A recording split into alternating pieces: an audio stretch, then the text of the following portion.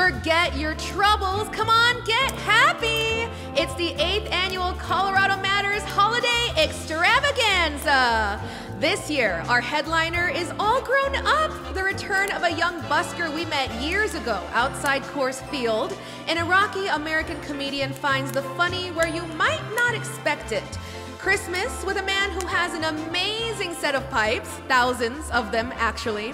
Some holiday sex appeal. For Hanukkah, we get to the roots of klezmer and Kwanzaa across the generations. I'm your MC, May Ortega from CPR's podcast, Quien Are We? Let's welcome our hosts, Ryan Warner and Chandra Thomas Whitfield.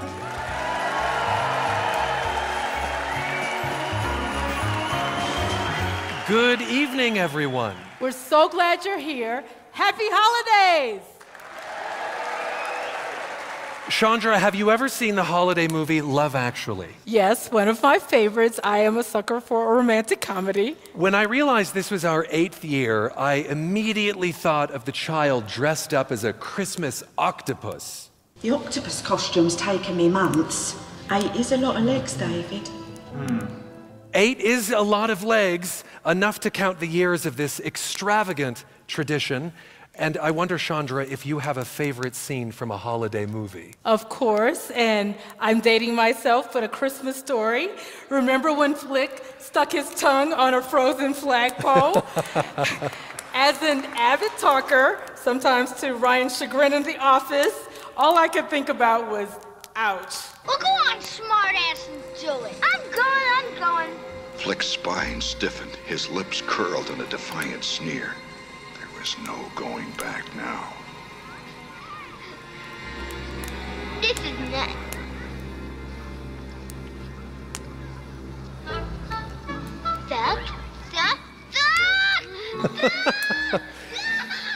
Chandra, I have thought of that scene every winter. Anytime I pass a flagpole, I think, don't stick out your tongue. Yes. Ryan, don't stick out your tongue. Thanks, Chandra.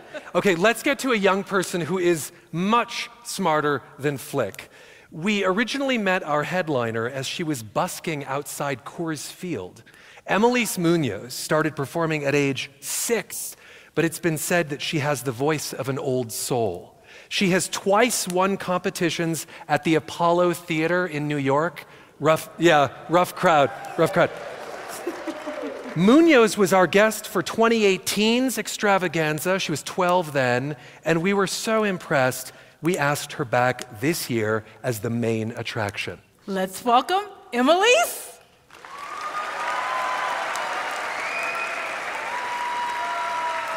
Have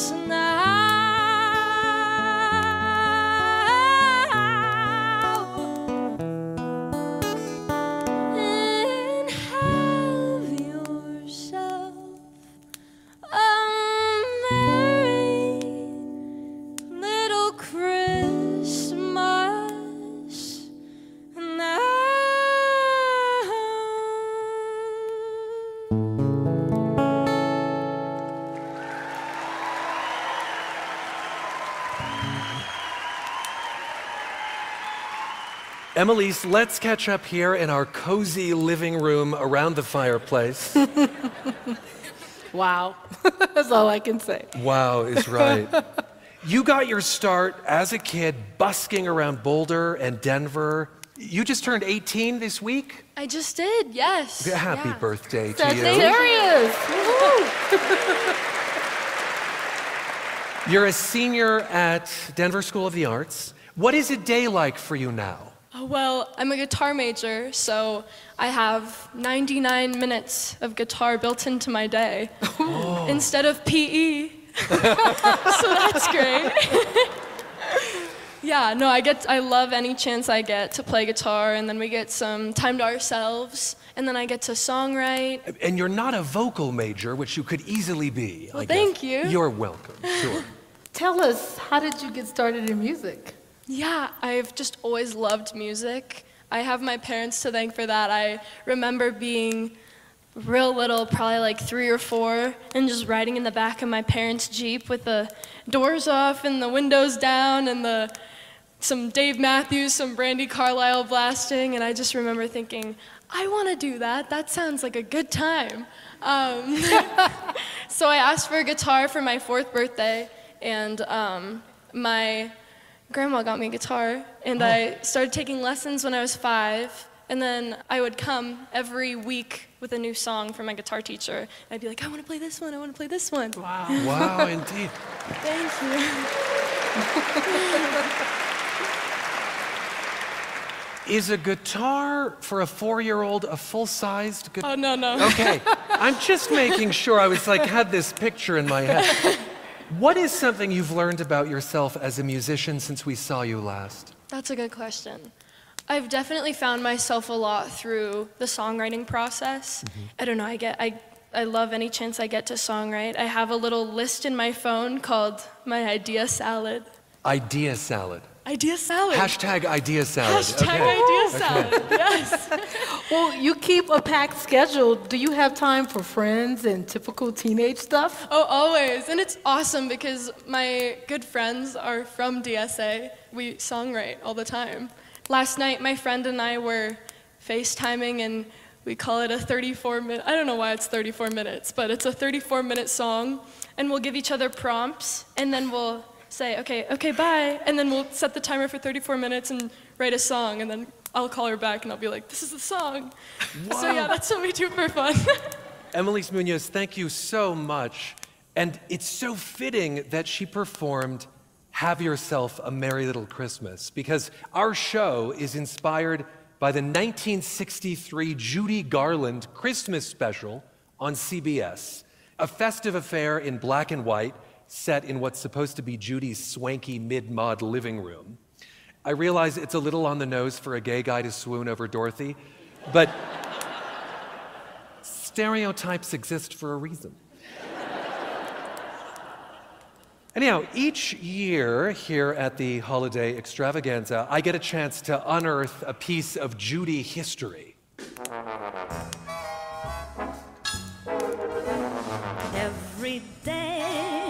Just go along, dawn till sundown. Here's the rundown. Every day that comes, comes once in a lifetime. Take each day. This is a short ditty, two minutes, 30 seconds, called Comes Once in a Lifetime. It has a Carpe Diem message. While the future waits, the present swings. And Judy recorded this song, sang it live on her variety show. And I wondered, where did this come from? Would you guess that its roots are in homelessness? It's an issue Colorado's all too familiar with. You see, an article ran in Harper's Magazine about subway homelessness. The author slept on subways and wrote about the people he encountered. All of that inspired a musical called Subways Are for Sleeping. It opened in 1961 on Broadway to mostly negative reviews. And it didn't help that the New York City Transit Authority refused to post ads for it on buses and subway trains, fearing that it would sanction sleeping on transit. So that show largely fell out of our collective memory, but comes once in a lifetime, endures, thanks to our muse tonight, Judy Garland. So live, live, live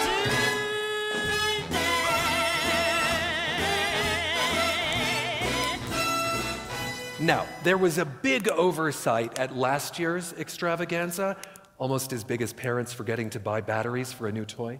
So we were here on stage at Central Presbyterian, pretty much ignoring a massive musical instrument and treating it as scenery. And in your feedback, many of you said, this year we want to hear the pipe organ.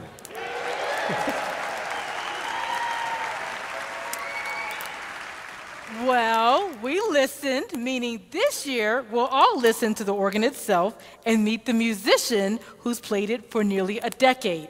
Please welcome Will Smith. Will's going to perform a seasonal song that's been around for, oh, just three centuries Joy to the World. And of course, everyone here is invited to sing along. Yes, even you listening on the radio. But some quick instructions first. Yes. I'd love you to sing along at a very specific part of the piece. Um, and that is, so I'll play a few verses myself, or a couple verses myself. You'll hear the organ get louder, um, the song build and get a little bit slower, uh, and then change keys. And that's when I'd love you to join me for a verse of Joy to the World. Wonderful. I just want to say you're at an organ console that is the size of like a VW bug. Yes. Okay.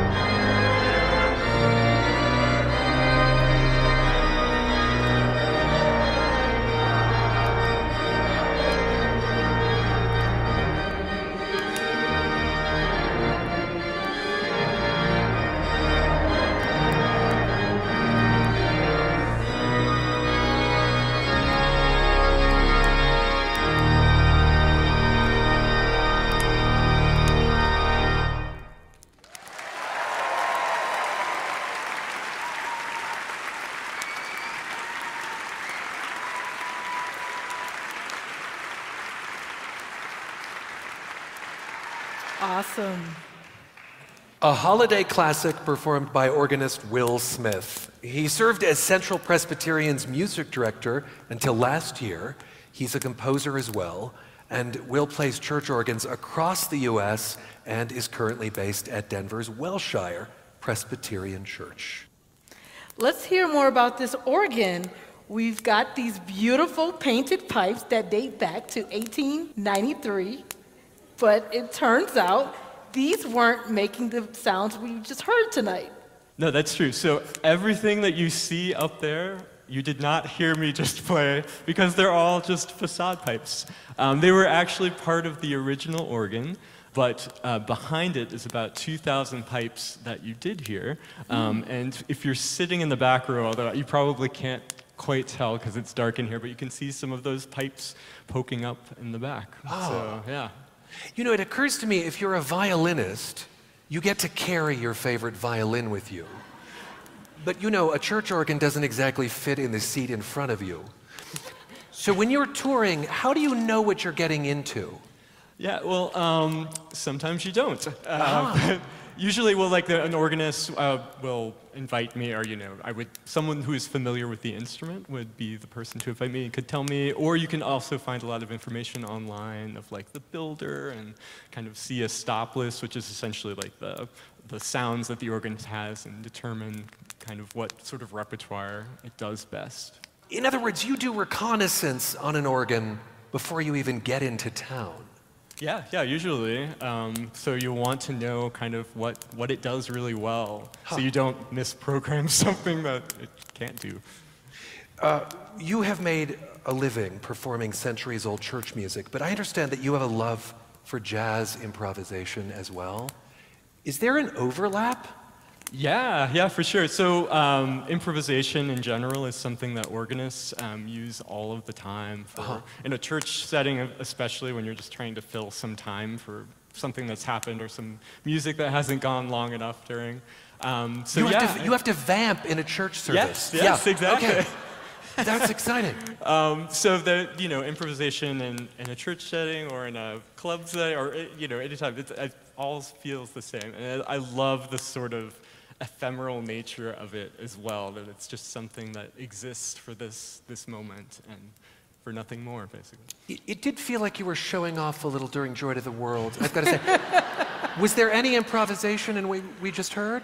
Yeah, yeah, Okay, exactly. yeah, Yeah, yeah, so- yeah. Very nice. Yeah. Well, thank you so much for being with thanks- us, Will. thanks so much for having me. Lovely job.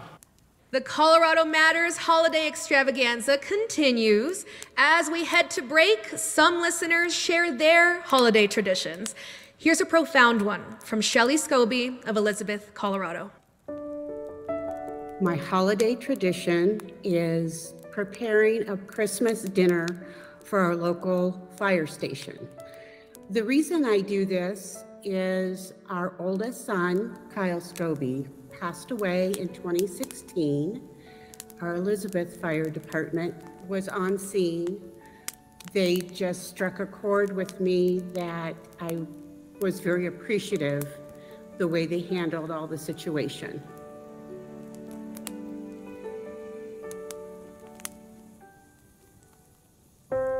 We are so grateful to our members, donors, and sponsors. You are such an important part of the work we do here every day. CPR News, CPR Classical, Indie 1023, Denverite, and KRCC in Southern Colorado wouldn't be possible without you. Thank you for being a part of the Colorado Public Radio family. And on behalf of listeners all over Colorado, thank you for your support.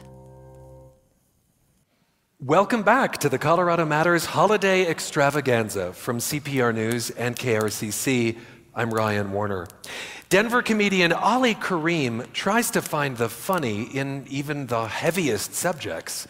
He grew up in Baghdad, first under the regime of Saddam Hussein, then through the war. He learned English selling DVDs to Marines, later becoming their interpreter. He eventually landed in Nebraska, which he jokes looks like Iraq with grass. Now in Colorado, he's been a featured performer at Denver's High Plains Comedy Festival and the Boulder Comedy Festival. Please welcome Ali Kareem.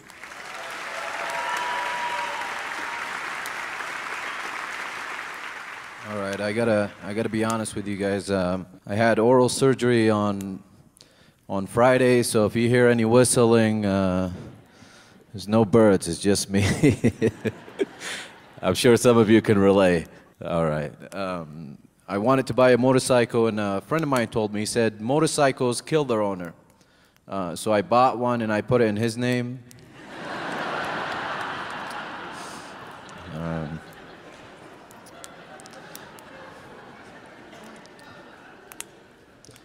uh, just to give you a little background about myself, like I said, I'm originally from Iraq. Uh, only been in the States for 10 years now. Uh, I'm from Baghdad, B-Town. Nobody here from Baghdad? All right. Uh, uh, our cats didn't meow. They meow. And when you pet them, they go. Uh,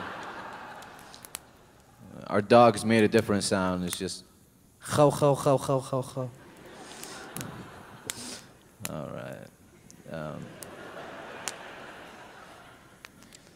um, I learned English from selling DVDs to U.S. soldiers. Uh, anybody see me in a Hurt Locker? uh, learning English from soldiers was different. I taught myself how to read and write, and I was reading a book, and I learned that when letters are capitalized, it means you're screaming at somebody. And I thought about it. I was like, man, no wonder why my visa took three years. Uh,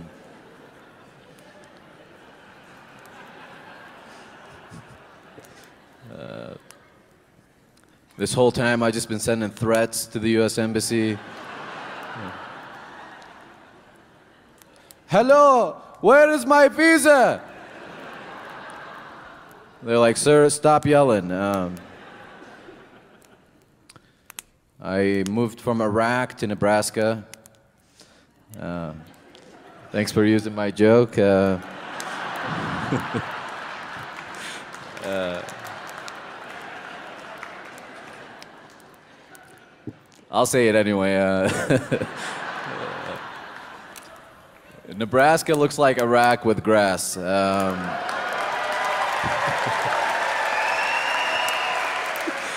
uh, Iraq is still better.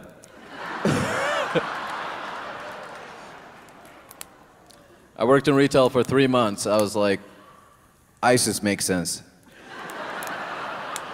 all right, all right. Um, yeah. I'm a U.S. citizen now. Thank you. Thank you. Thank you. Um, did you know you have to study and memorize 100 questions about U.S. history, and they ask you 10 random questions to pass? Uh, you should know some of these questions. All right. Um, what ocean borders the East Coast? Atlantic, yes, thank you. Uh, well, they didn't ask me questions like that. Uh, they're like, have you ever been or participated in any terrorist activities? I was like, ¿qué?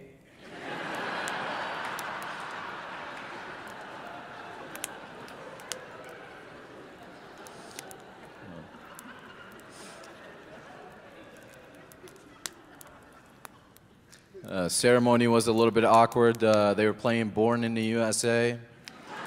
Uh, main guy looked at me. I got all nervous. I was like, I wasn't born in the USA. Um, I come from a Muslim family, and uh, my mom called me the other day. She's like, Ali, I know you're in America. I know you're going out with these girls. I'm like, who is telling her this? Uh, it was my sister. Uh, uh, she's like, Ali, you need to get married. I was like, okay, mom. She's like, no, don't say okay. Say inshallah. Uh, inshallah means God willing. Uh, so I said inshallah, and Alexa's light came on.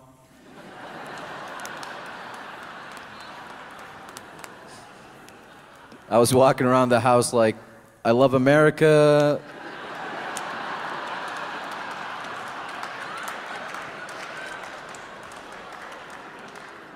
Alexa, play Born in the USA.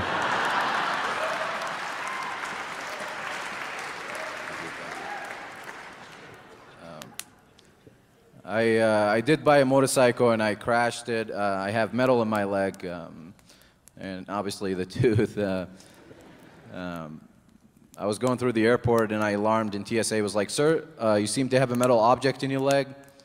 I was like, It's a metal bar. Uh, but all they heard was Allah Akbar. They're like, Have you ever been or participated in any?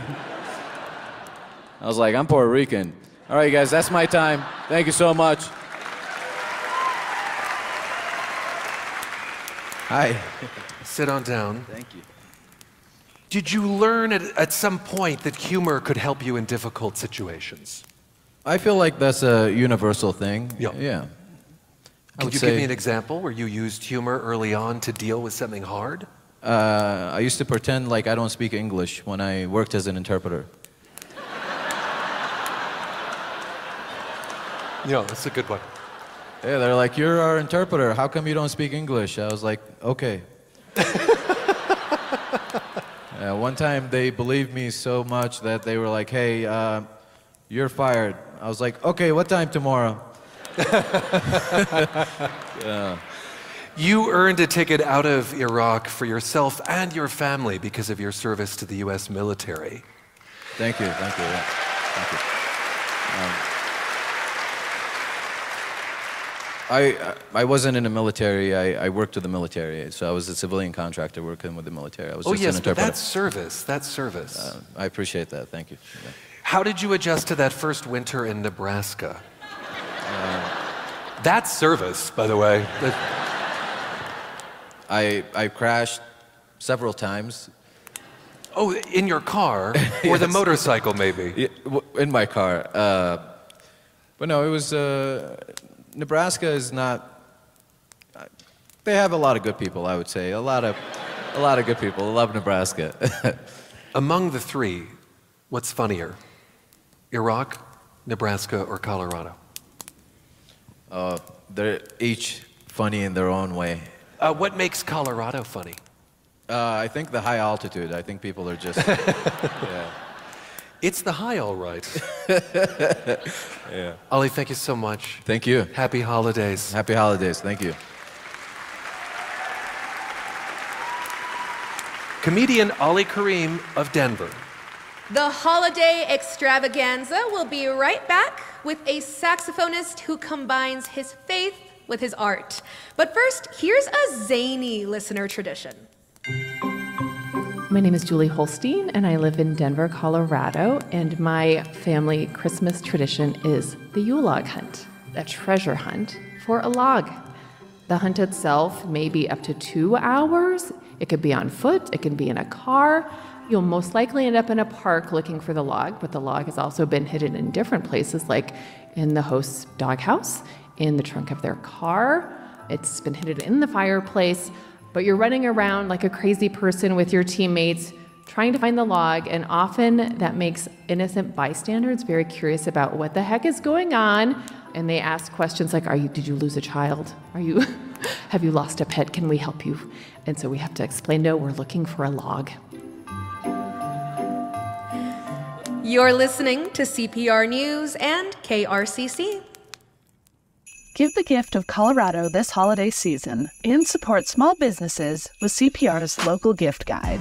I'm Lauren Antonoff Hart. And I'm arts reporter Eden Lane. Check out CPR's list of Colorado gift ideas, from special activities to shops where you can find weird but delightful surprises for your upcoming gift exchange. There's also a list of holiday markets that offer you a way to celebrate Colorado artisans. The local gift guide is at cpr.org.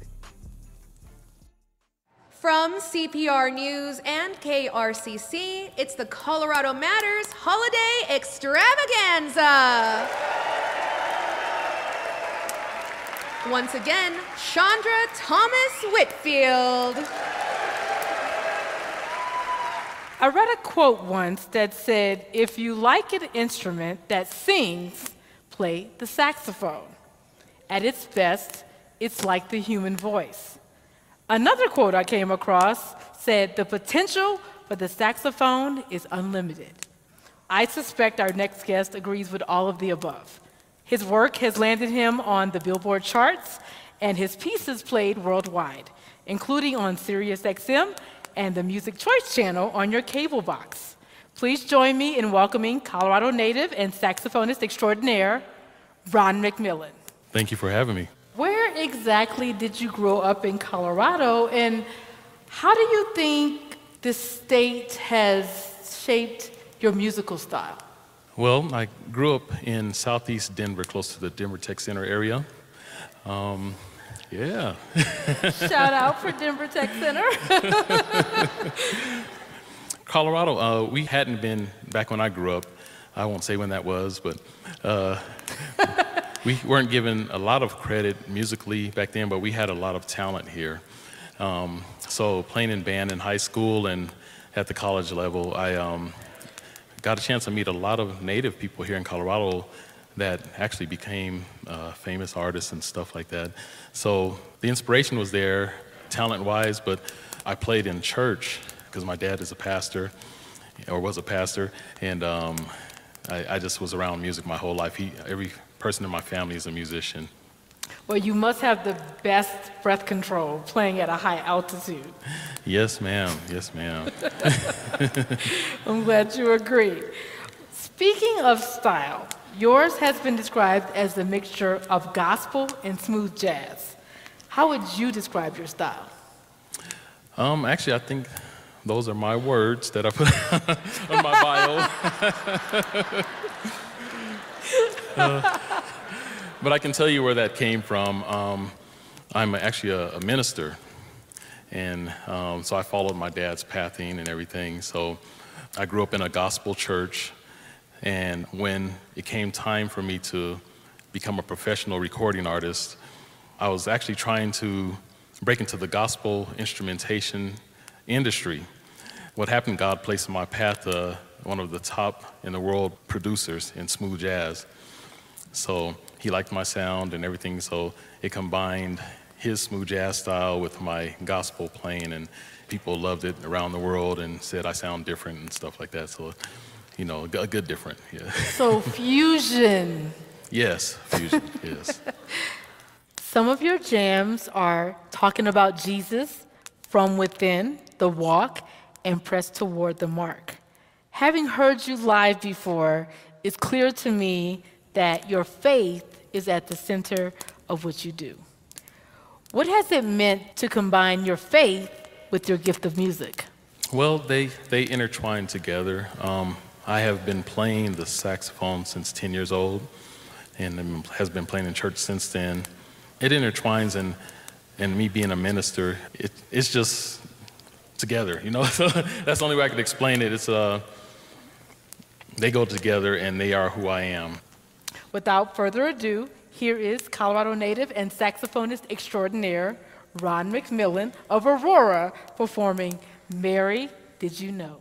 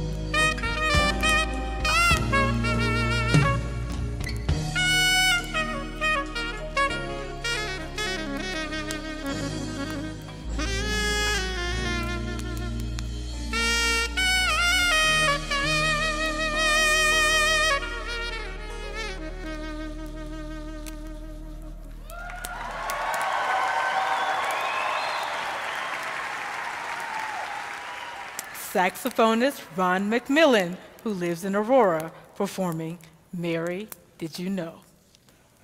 Ryan, what I love about working at CPR, specifically Colorado Matters, is the family environment. I certainly spend more time with you than I do my own family, who, apart from my boyfriend, are all in a different state. Yeah. Well, now you get to be a part of mine. Meet my two sons, Riley, and he's about to turn 12 this month, and Miles, who just turned double digits, 10 years old, on Tuesday. now you get to see what mom does for a living. They tell me they Googled me and figured out that I'm famous, and I say no. Ryan Warner is famous. I just work here. my, my mom certainly thinks I'm famous. Yeah. Chandra, I'm already feeling like part of the family. Thank you. Awesome. Before I got married and had children, I always knew that Kwanzaa was a holiday tradition that I wanted to incorporate into my family life. And we've done just that since we've moved to Colorado in 2012. Please also welcome to the stage our friends Sadie and Dalen. There are a lot of myths and all out confusion about Kwanzaa. So, Miles, briefly tell us what is Kwanzaa? Kwanzaa is an annual holiday that was founded by a college professor way back in 1966 as a way to honor African American culture.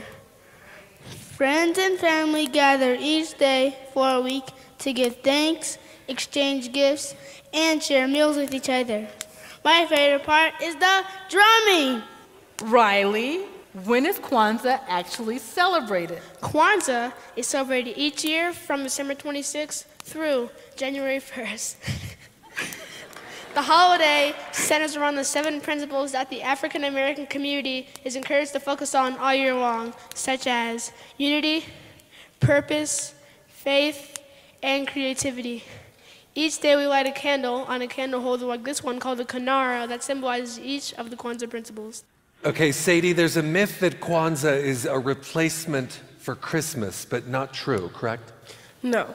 People can celebrate both Christmas and Kwanzaa if they choose to. It's not a religious holiday, it's a cultural one. It's all about getting together for food, fellowship, and fun. Gifts are often exchanged, but one difference is that we're encouraged to make the gifts and not just buy them. I think that makes it extra special. Dalen, wrap this all up for us. What else can you tell us about Kwanzaa?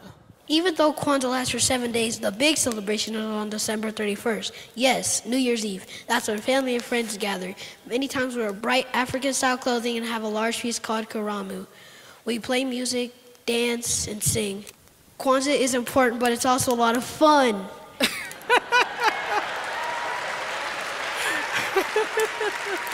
Thank you, Dalen, Sadie, Riley, and Miles for schooling us all on the celebration of Kwanzaa.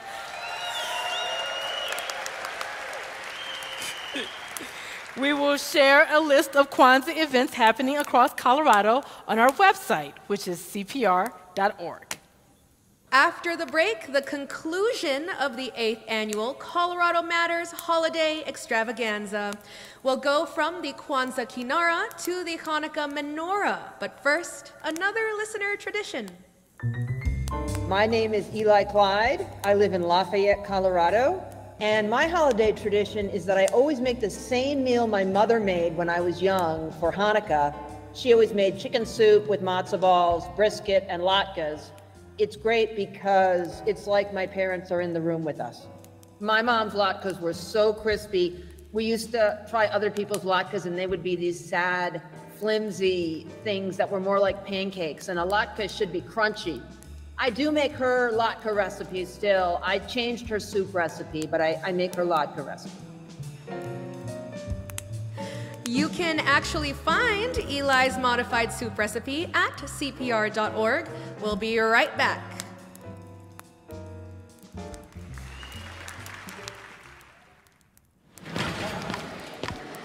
Crowds, construction, and a general sense of chaos. Does flying for the holidays really have to be so challenging? People have prioritized travel. I mean, we are seeing numbers that are extraordinary. Get hacks from insiders at Denver International Airport about keeping your stress in check. Plus, CEO Phil Washington on what the airport's doing to handle more and more people.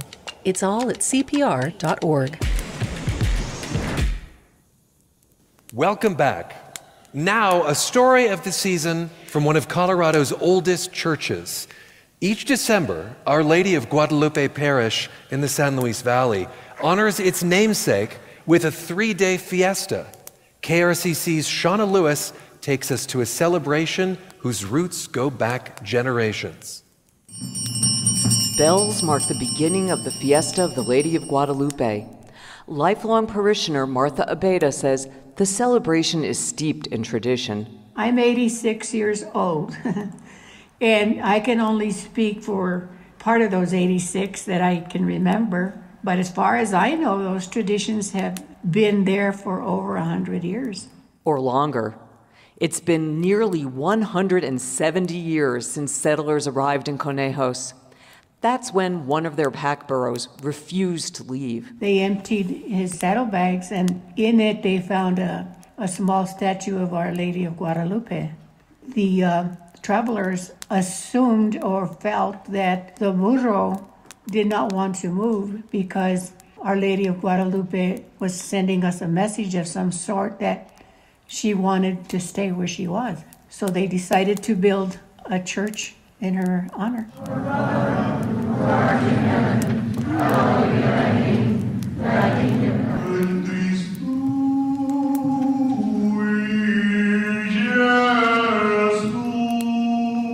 Each year in mid December, the parishioners fill their church with roses, one of the many ways they celebrate the Lady of Guadalupe. It's very beautiful.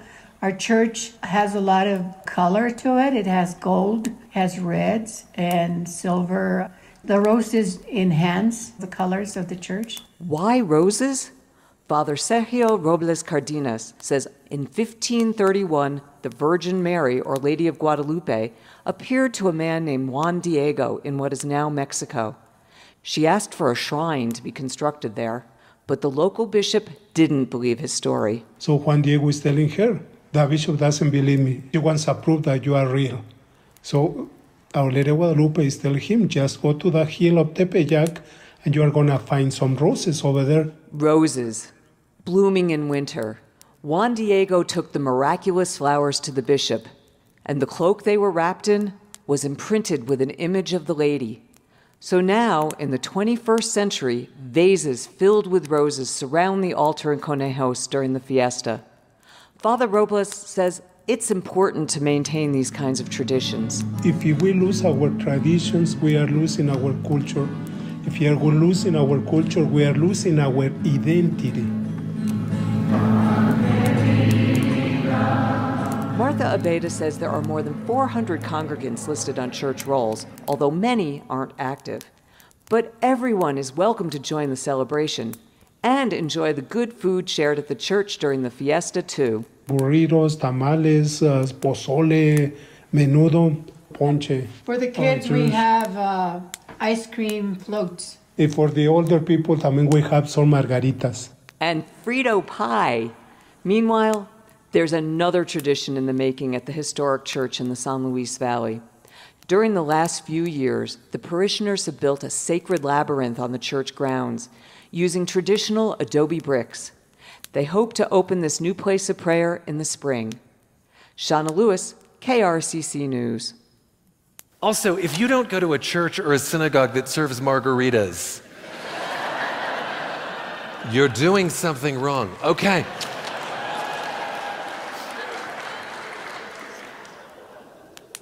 Klezmer is a Jewish style of folk music, and Colorado has a thriving klezmer scene. Let's meet a singer and fiddler who keeps it thriving. Eitan Cantor will perform a Hanukkah medley with some of his musician friends. Chag Sameach, happy holidays to you. Chag Sameach. It's great to see you. You're looking a little less exhausted and less greasy than when I saw you last week after you had just finished judging the Jewish Community Center's potato latke frying competition. There's a lot of potatoes. A lot of potatoes. Chag Sameach Eitan, and let's first dive into some delicious vocabulary. The word klezmer is really packed with meaning, isn't it? That's right. Klezmer is not traditionally the name of a musical genre. It actually describes a person. It comes from the Hebrew words kli, which means vessel, and zemer, which means song. So if you're a klezmer, that means you are a vessel of song. And we can all be klezmorim. We can all be vessels of song. Oh, lovely. Since 2016, you've been part of the band Upshirin, which is like also a name packed with meaning. An Upshirin is a celebration of a first haircut of a little boy, usually around age three in the Orthodox Jewish community. And our old band Chad Gaba, which means unibrow in Hebrew, uh, that was also a, a hair name, so we wanted to have a hair name, and we wanted it to be Yiddish this time because we focus on Yiddish music. And we also wanted to put the word shir in there, as someone in the band pointed out, because the word shir means song. So it kind of sounds like up with the song. Upshirin. Why unibrow? You, you don't have one, I just want to say, for the people listening to the radio, if they were wondering. Give us just a quick rundown of Colorado's regular klezmer events, and do you have to be Jewish to feel at home? You absolutely do not have to be Jewish to feel at home in any of Colorado's klezmer events. I'm one of the co-organizers, along with trumpeter Tung Pham, of a monthly event called Festo Festo. That is, yeah, that is Colorado's monthly klezmer and Balkan music concert and jam session. It usually happens at the Mercury Cafe, but sometimes it also happens at the JCC. And we're lucky to have an amazing scene here. Um, I want to give a shout out to Hal Aqua, who leads the band Hal Aqua and the Lost Tribe. They have been putting on the event Klezfest for many years now, and it's amazing. It's usually around Christmas. Uh, because Jews need something to do on Christmas Eve. You can only eat so much Chinese food, is the point. Yes. And one more exciting event that's coming up we're having, for the very first time, a multi day klezmer festival here in Colorado called Klez Colorado. That's going to be happening the first weekend of May. Wonderful. Okay, tell us briefly about this Hanukkah medley and then introduce us to the other performers, would you? Sure. We're going to start with a classic tune called Mi Yimalel. We're not going to sing the words to it, but the words are about the sort of story of the Maccabees. Then we're going to go into the English version of the song Hanukkah O Hanukkah. Then we'll have a little interlude of an original tune that I wrote called Vishamru. And we'll close with the Yiddish version of Hanukkah Oy Hanukkah. And I'm so lucky today to play with these incredible musicians. We've got Annie Aqua on the fiddle. Yeah. We've got Adam Loudermilk on the poik drum.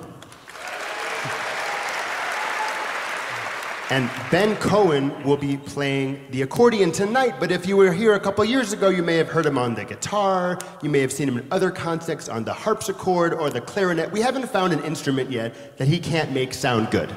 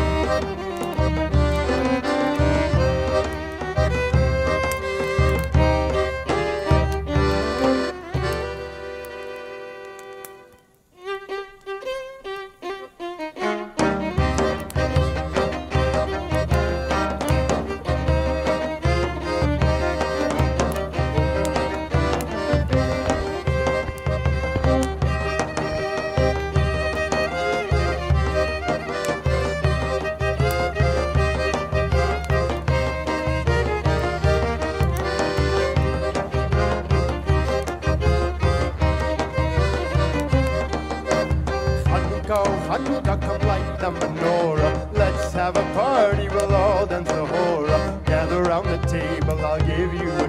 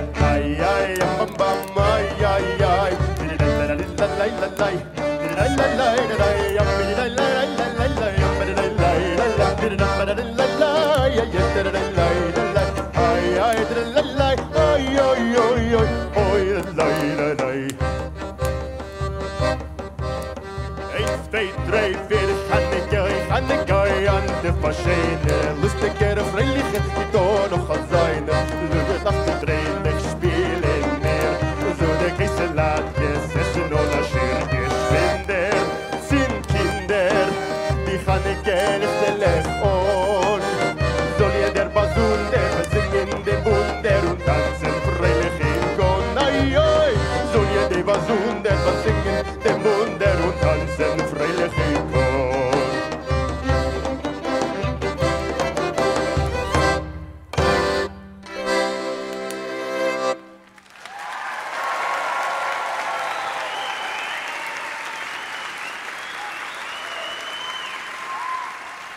A Hanukkah medley from Eitan Cantor and his band. Cantor is musical director at Denver's Hebrew Educational Alliance. And be sure to check out Klezfest and Festo Festo. As our holiday extravaganza comes to a close, here's a final heartwarming tradition from another Colorado Matters listener.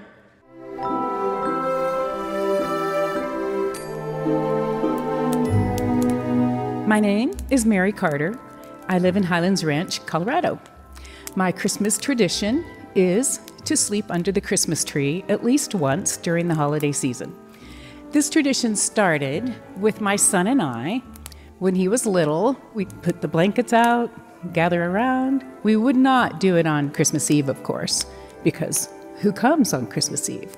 You cannot be under the Christmas tree. When I met my now husband, I invited him to join me under the Christmas tree. I'm May Ortega with Chandra Thomas Whitfield and Ryan Warner. A big thanks to our tireless production crew. Let's hear it for them.